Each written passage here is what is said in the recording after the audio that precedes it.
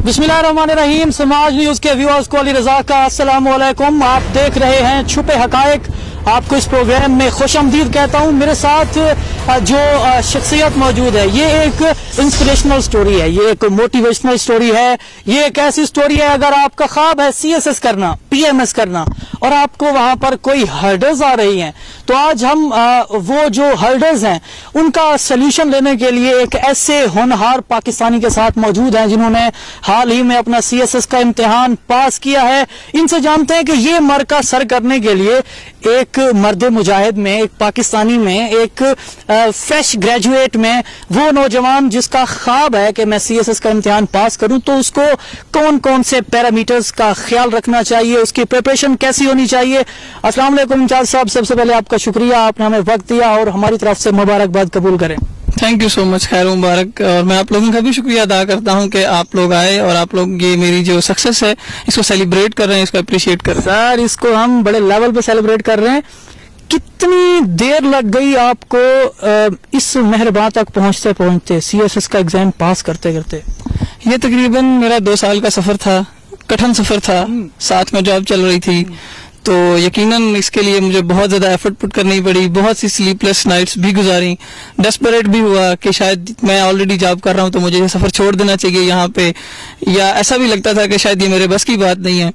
लेकिन मैंने वही बात है कि जो हिम्मत नहीं हारता वो जीतता हुई है तो मैंने हिम्मत नहीं हारी गिव अप नहीं किया। अल्लाह पाक की मदद और वालदेन की दुआएँ शामिल हाल हुई और कामयाबी आपके सामने। माशरे में मायूसी बहुत ज़्यादा है। हज़ारों स्टूडेंट जो होते हैं, वो इस एग्ज़ाम में अपेयर होते हैं और हज़ारों स्टूडेंट नाकाम होते हैं। मायूसी की फिजा आपको भी बर्दाश्त करनी पड़ी। मायूसी आप नहीं कह सकते लेकिन परेशानी का आलम था कि क्योंकि इसमें कंपटीशन बहुत ज़्यादा है और इसमें अनसर्टनिटी बहुत ज़्यादा है। आपको नहीं पता कि आप अगर एग्ज़ाम में बहुत अच्छा भी लिख के आए हैं तो क्या आप पास होंगे भी कि नहीं? उसकी वजह यह कि ये कंपटीशन का एग्ज़ाम हो सकता है जो साथ में आपके दूसरा एस्पायरेंट है उसने आपसे भी अच्छा लिखा हो। तो कंपटीशन में जो ज़्यादा अच्छा लिखेगा वही पास होगा। इम्तियाज़ आज़म को मालूम था जो लिख रहा हूँ पास हो जाऊँगा। अल्लाह पे यकीन था। वालदेन की दुआएँ थी अपनी मेहनत पे यकीन था तो बस ये यकीन था कि इनशाला मुझे कामयाबी मिलेगी। आपकी मेहनत में कौन कौन से एलिमेंट थे? एक तो स्लीपलेस नाइटें और क्या थे? बेजारी बात है स्लीपनेस सबसे ज़्यादा इम्पोर्टेंट है फिर डेडिकेशन है फिर अल्लाह के यहाँ सामने जो है वो दुआएँ हैं सजदे हैं। प्लानिंग कितनी थी? कितना टाइम देते थे एक दिन में? प्लान तो मैं करता था मंथ टू मंथ बेसिस तो लेकिन साथ में जॉब और दूसरी मसरूफियत की वजह से शायद कभी कभार वो प्लान पूरा भी नहीं हो पाता था लेकिन आप जो एवरेज पूछ रहे हैं तो वो डेली बेसिस पे काइंड ऑफ़ आप कह लें कि आठ घंटे मुझे पढ़ना पड़ता था। पहले आपके दामन में सरकारी नौकरी है फिर अब आपके दामन में सीएसएस के बाद एक नया चाम चौ, चौके के ऊपर फिर छक्का लगने जा रहा है। कैसा महसूस होता है साहब? अल्हम्दुलिल्लाह ये अल्लाह पाक का शुक्र है उसकी ज़ात की रहमत है। और पहले वो जॉब ऑलरेडी मेरे पास है, लेकिन जो सिविल सर्विसेज़ के साथ एक सोशल रिकग्निशन का और एक आइडेंटिटी का एलिमेंट अटैच है, वो शायद पाकिस्तान में किसी दूसरी जॉब के साथ अटैच नहीं है। तो ये जब आपको पहले कामयाबी होती है और फिर आप उस पर आजिज रहते हैं और अल्लाह का शुक्र अदा करना आप नहीं छोड़ते तो फिर अल्लाह की ज़ात आपको और भी नवाजती है। तो मेरे ख्याल से ये खुशी का, मेरे लिए बहुत खुशी का मौका है और मैं इस पर अल्लाह का शुक्र अदा करता हूँ। आगे क्या आपकी प्लानिंग्स हैं जब आप ये अपनी जो आपका ट्रेनिंग का टाइम पीरियड है, ये जब आप मुकम्मल कर रहे हैं, फिर आगे आपकी क्या प्लानिंग है? आगे अब हमारा एक सिस्टम बना हुआ है ब्यूरोक्रेसी का, आप उसका हिस्सा बन जाते हैं। आप इस सिस्टम के लिए कुछ बेहतर करने की कोशिश करते हैं। जाहरी बात है, यहाँ पे आपको मुश्किल फेस करना पड़ती हैं, जैसे जैसे आप रास्ते में चलते जाते हैं, रास्ता इतना आसान नहीं है।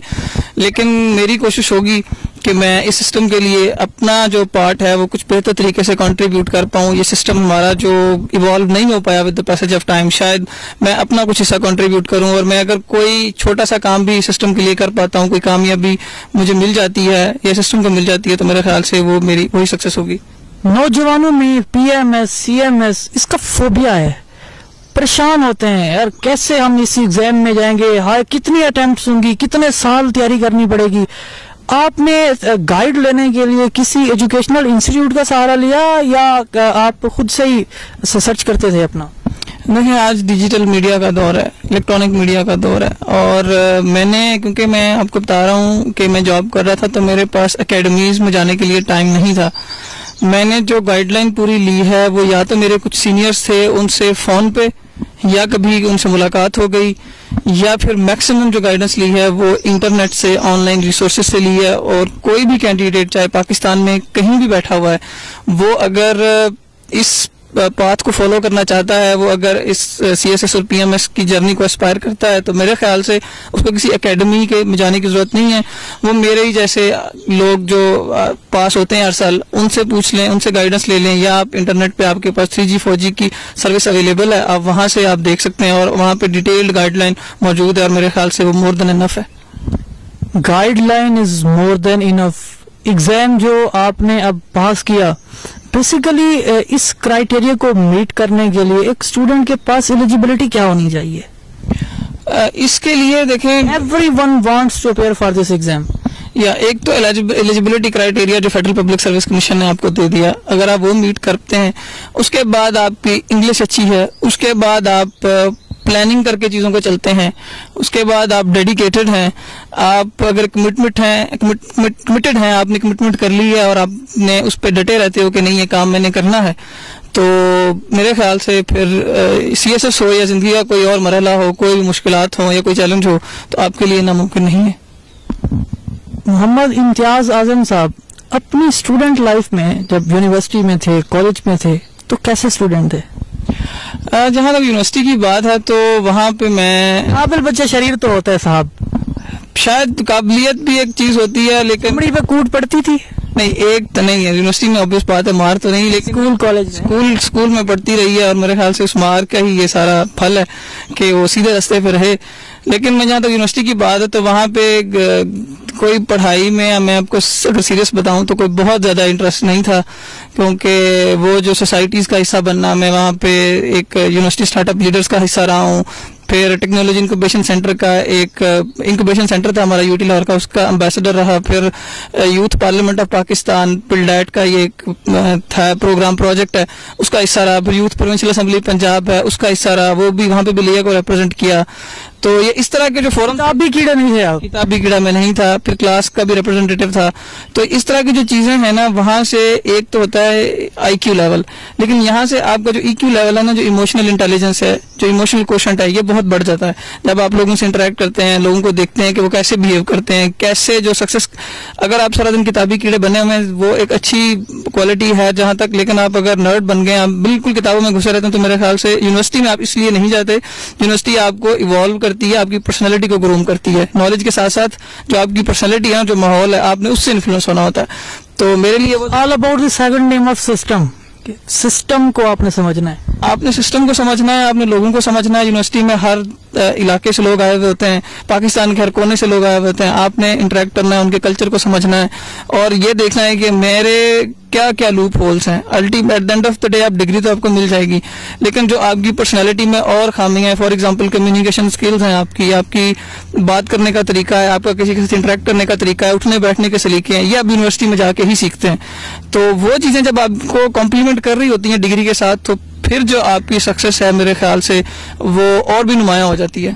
एक्स्ट्रा करिकुलर एक्टिविटीज़ कितनी परसेंट सपोर्ट करती हैं आपको आपके प्रोफेशनलिज्म में? मेरे ख्याल से अगर आप जो मैं अगर अपना ओपिनियन दूँ तो ये तकरीबन कह सकते हैं आपके फिफ्टी परसेंट इनका रोल है।